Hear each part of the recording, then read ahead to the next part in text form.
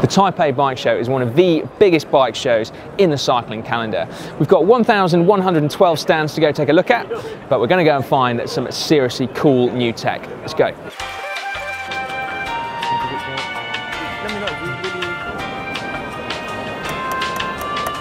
So this is really exciting. Ridley have brought two prototype frames to Taipei. Fortunately, they've not been too difficult to spot. Now, first of all, this is the Noah SL disc, and there's not many aero-optimized disc brake bikes out there, so this is particularly exciting. It's quite a long way down the testing process, so we hear, so hopefully not too long before it might reach the market. But it is basically a Noah SL, and then with a different fork and a different back end on it, so that it becomes disc compatible. Both flat mount discs, that's a seriously cool looking bike. Then next up is the Helium SLX. So this is the super light bike in the range. Now this new frame set, we're told, for the frame and fork weighs just one kilo. So that is super, super light. This is the new urban group set from Shimano. It's called the Metrea. We've seen it before, but I've never actually seen it in the flesh, and it is really, really strikingly good looking. So it's a single ring setup at the front, and that's a standard chain ring there, not like a narrow wide version, but with a chain guard. The rear derailleur looks like a normal Shimano road rear derailleur just a very stylish version. But it's, perhaps it's the shifters that are the most unique thing. It's just got hydraulic discs on there. And then that, believe it or not, is kind of like a grip shift. So you twist it to change gear. I'm not allowed to touch it because it's a prototype and there's a guy there who's telling me off, but that is how it works. And then the final thing is that the wheels as well, which are specific to the group set, and they look very cool, a bit like Campagnolo uh, Shamals from, well, whatever it was, the 90s. That's not a bad thing, that's a very, very good thing. Right, so we've come to Vision and FSA, not just because there's a plate of biscuits on the front of the counter, but we want to get a bit more information about their new wireless group set. It's not here, they've told us they've finished the testing process. It's just simply a case of refining it for production now. But we have found this. It's not new new, but it's the Vision time trial specific group set. Now, it's designed here for triathletes, but it is UCI legal, so you could stick it on a time trial bike and race it on the road. They've obviously got all the shifting stuff worked out. They've got their own cassette, they've got that super aerodynamic rear derailleur there. But perhaps what's most interesting, the aero cranks that we've seen, but they also have an aerodynamic one by specific chain set. So that's got the narrow, wide chain rings on there, designed specifically for a single ring setup. So that's the time trial version. If we come around here, there is also a road specific version as well on a road crank. Again, that's got the narrow wide chain rings. Then something that I thought was of interest to roadies, even though it's mountain bike specific, are their stems that are designed for 29ers and they've got a minus 12 drop on them, which again, for roadies looking to get a little bit lower, it's always difficult going from like a minus 7 to a minus 17. So here, the minus 12 fills the gap. That is something that I used to really look for.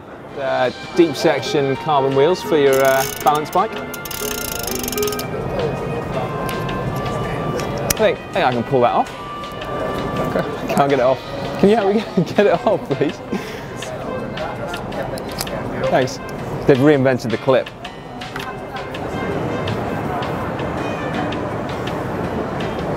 Thanks.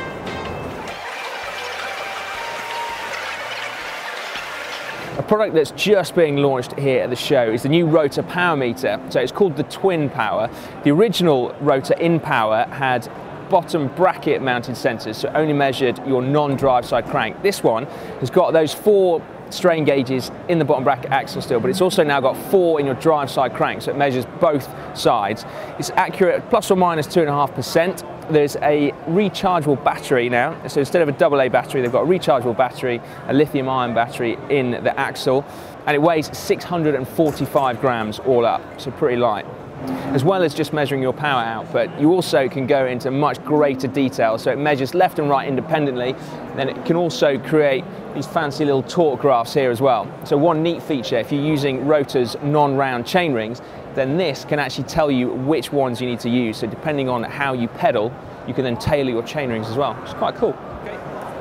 It's almost ironic that with carbon fibre being the exotic material of choice, there's so much of it here at this show that it's actually skinny steel tubes that really stand out. And admittedly, the bar tape probably is what catches your eyes first, but go take a look at that. The lug work on that is incredible. It's a Yasuhiro made out of Tange tubing.